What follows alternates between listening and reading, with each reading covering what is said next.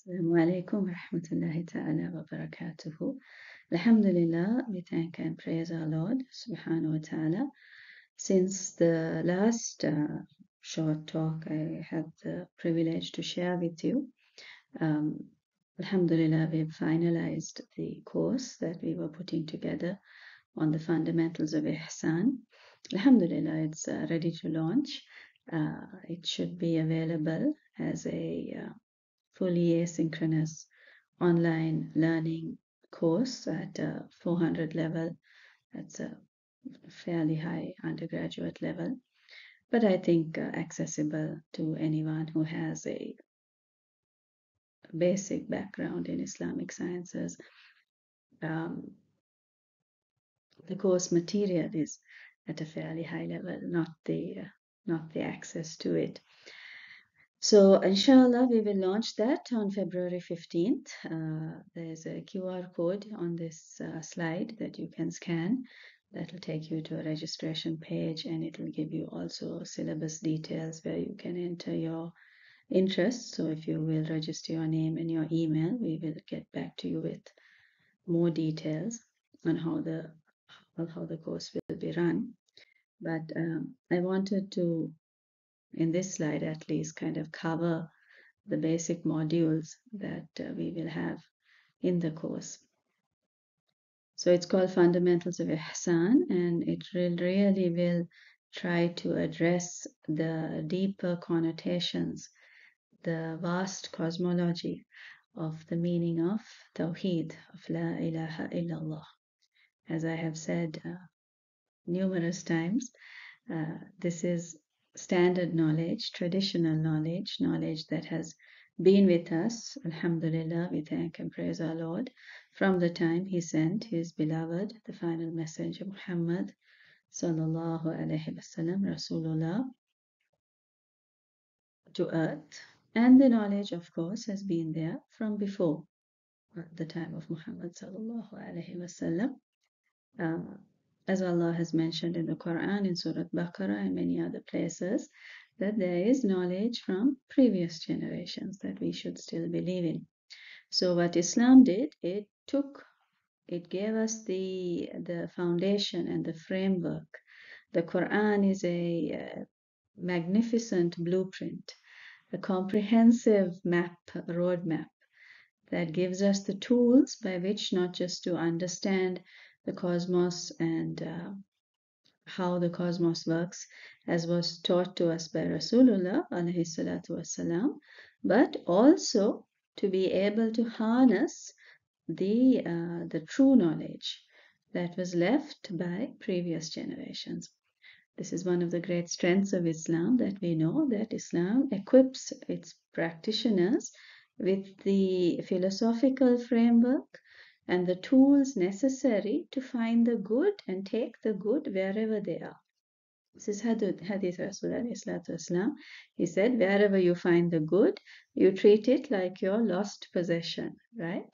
So this is one of the uh, strengths of the you know, Islam that we are very, um, very um, expansive in our philosophy. This is why we are able to live in anywhere on earth and still bring the nur of Muhammad wasallam to our surroundings while we uh, while we enrich our surroundings and we are enriched by it right? So this is why Islam is is very um, it's very varied it's very beautiful. Uh, it captures the essence of the beauty of variety that you see in Allah's creation as I say, uh, you know, if you, if all the birds looked alike, you wouldn't enjoy uh, the the vast array of beauty Allah has created. This is a hallmark of Allah's creation. It's a hallmark of the way we used to be. So wherever we go, whichever society we live in, wherever we find true knowledge from the traditions of people who existed there before the advent of Islam, we were able to take that, sift through it, take what is true and leave out what is false. How did we do that? Simply because subhanahu wa ta'ala, Allah has given us this living miracle of the Quran, this, this uh, Quran that will never change. This Quran that is comprehensive and gives us every tool we need to be able to understand what is right and what we must take and what is wrong and what we must leave.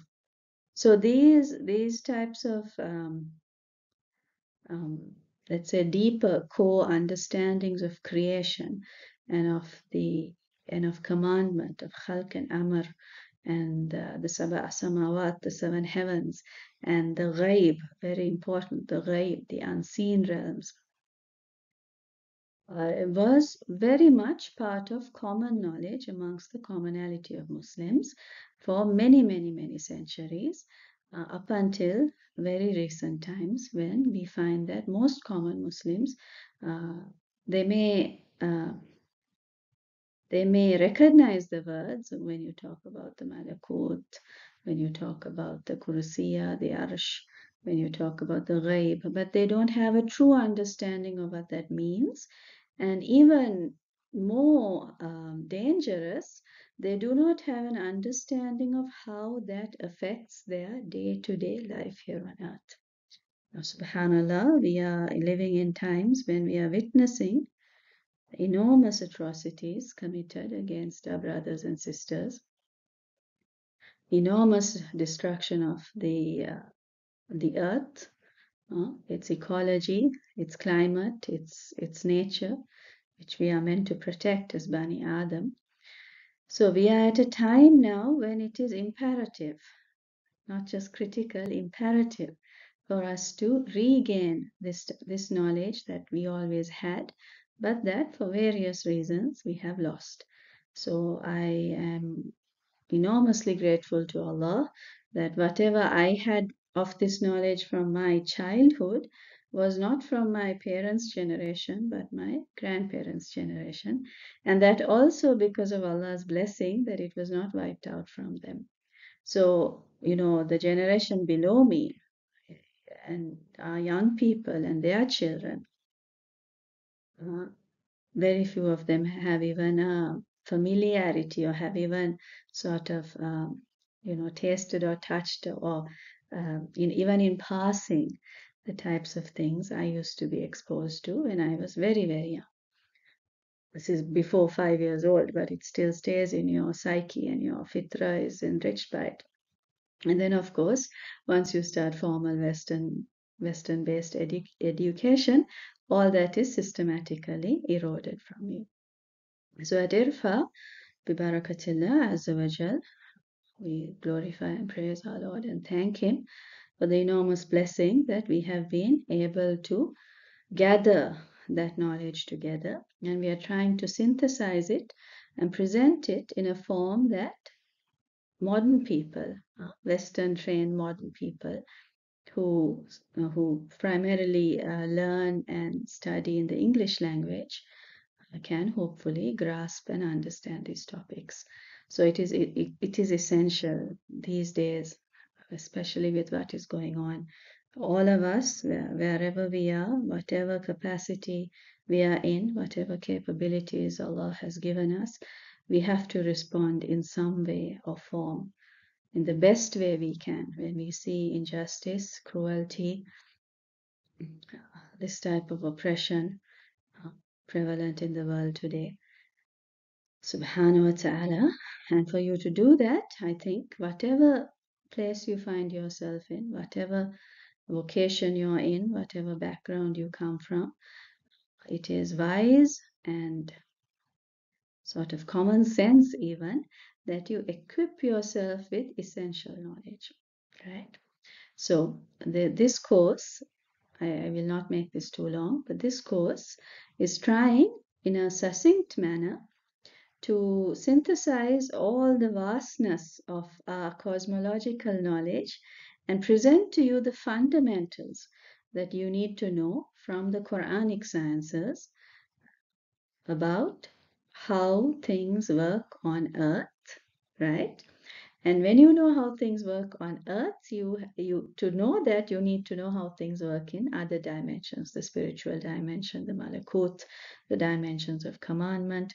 You need to know who your Lord is and how your Lord's commandments come down, and how your your uh, yearning and your interaction with your Lord, your dua, in other words, uh, how that will change Allah's qadr, Allah's uh, great plan, His great uh, predestination. So we are trying to take these these sometimes very heavy and sophisticated topics and present it to you in a simple form. So we hope that is successful and you gain much from it. So in this slide you have we have a, a, a sort of a summary poster giving you the four main modules of the course, the organization of the cosmos, firstly. And when we say cosmos, we do not mean just the known universe. What do we mean by the known universe? The universe that modern science understands, that, you know, we understand from the Big Bang Theory. We are not simply talking about matter and energy. You know, in science, we have physics and chemistry. These are the mother sciences. Chemistry deals with matter, physics with energy. And physics, uh, matter and energy together, we say constitutes the universe.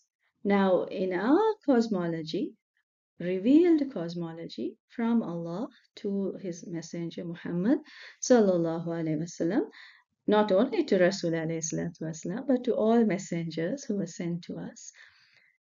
We understand universes and dimensions and realities beyond the known universe. And when we say beyond, we don't mean that this is the known universe, that is a, another dimension. No. Each reality permeates the other reality. Right? So the malakut, the spiritual reality or the spiritual dimension, is always part of the mulk or the sensory dimension. This is why we know angels all around us, we know the shayateen all around, hopefully not around us. Hopefully we have too many angels around us for the shayateen to get close. But they exist in a dimension not apparent to the sciences that uh, measure matter and energy. Right? So the angelic dimension, though it has an impact on energy states, right? It is not energy. And though it has an impact on material states, we know the angels can take a human form. It is not material. So you have to understand these dimensions. Right?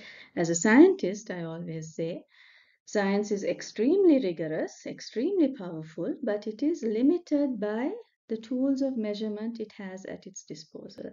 Science will only be able to unearth for you truth as long as it has some way of measuring a phenomena, right?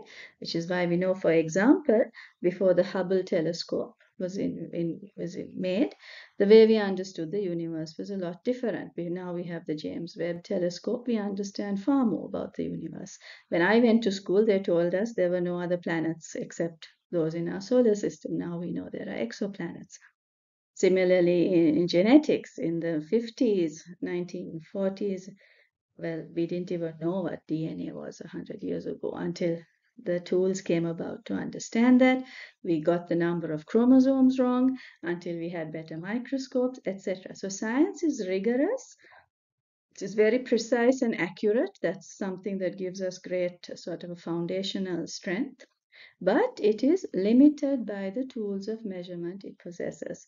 So we as Muslims subhanahu wa ta'ala are the holders of the final, unchanged, uncorrupted, divinely protected Kalamullah, the uncreated word of God, which is the Quran. So that gives us knowledge far beyond what we can assess by our limited tools of measurement. Now, uh, there are then we have to understand who the human being is and why uh, what are the faculties the human being possesses so much so that Allah has elevated the human being to be in the state of Khalifatul Ard. What are those faculties? Those faculties, firstly, of course, is the ruh. So we need to understand what is this thing called the ruh? Is it part of the mulk? Is it part of the malakut? Is it composed of energy? Uh, we we intuitively think there's no matter involved, but is it really energy or is it something else? Uh, what is it capable of doing? Where is it capable of going? Similarly, the qalb, the heart, which is the uh, the core of the human being in our uh, spiritual understanding. What affects the heart? How is the heart trained? How is the heart diminished? How is the heart hurt? How can the heart die though the body is alive? Now, I don't mean the physical heart, I mean the spiritual heart. What does that mean? And what are these faculties that Allah has put in us with respect to or in relation to the cosmos? And how are we meant to use them?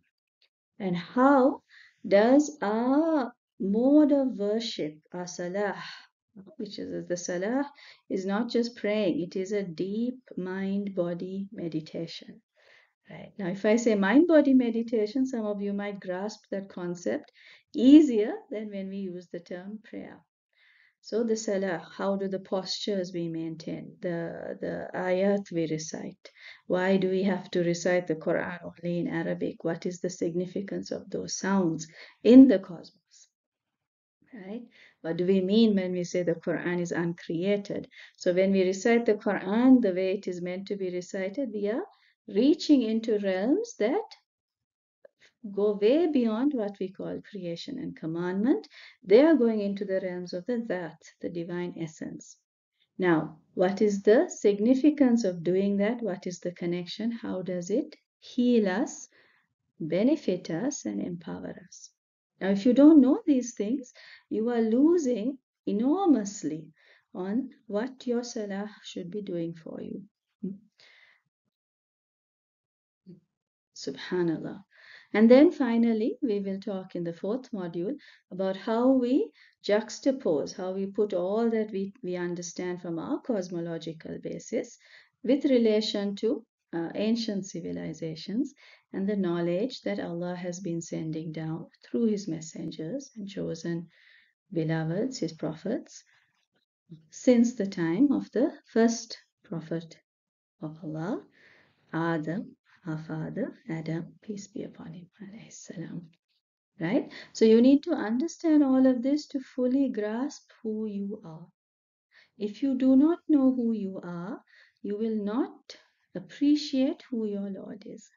If you do not appreciate who your Lord is, you won't understand the way your Lord is communicating with you. And that beautiful interaction, the message and the response all of your life here on earth is only how do you respond to the signs coming from Allah. Do not think this is your home, right? You are here for a short time to fulfill a certain purpose. Now, these things should be put in place so that you also know how to adequately respond to current events, to events in your own family, your own community, and how to uphold the sunnah of Muhammad sallallahu alaihi wasallam. How to enjoin the good and forbid the wrong. This is a role all of us have to play. أمر بالمعروف ونهي عن المنكر. And so, in summary, how to walk on Sirat, Sirat al-Mustaqim. Right? Sirat al-Mustaqim. What does this Sirat al-Mustaqim really mean? So this type of deep knowledge used to be very common. It is now rarely found. So we pray that we can, in, with the best way possible, bring it back to you in a way you can understand. So I highly encourage you to, to look at the course syllabus in detail. I have just made a short summary uh, and to sign up the first offering will be, uh, inshallah, from the 11th of February to the 4th of May. So I had an error in the previous slide. It's not the 15th, it's the 11th. It will be fully online, so you can pace yourself and do it uh, according to your schedule and routine. There'll be 12 weeks, uh, each module having three lectures. We will have assessments so that just to help you and encourage you, keep going and not fall off. Um, if any of you have difficulty with the course fee, please write to us at admin, admin at irfa.ca and explain your situation. We will always take that into account. So this is the first offering. We hope to have more offerings of the same course as we progress. Um, but I, I encourage you very much to take advantage of your time before you don't have it. You know the famous hadith of Rasul wasalam, to take advantage of five before five. Your health before you are sick, your youth before you are old, your wealth before you are poor, your time before you run out of time, so your life before your death. Alhamdulillah. So I think that is enough from me. May Allah bless and reward all of you and uh, keep us in your dua. And I hope very much that I will have the great happiness of meeting you in this course. Assalamu alaikum wa rahmatullahi ta'ala wa barakatuh.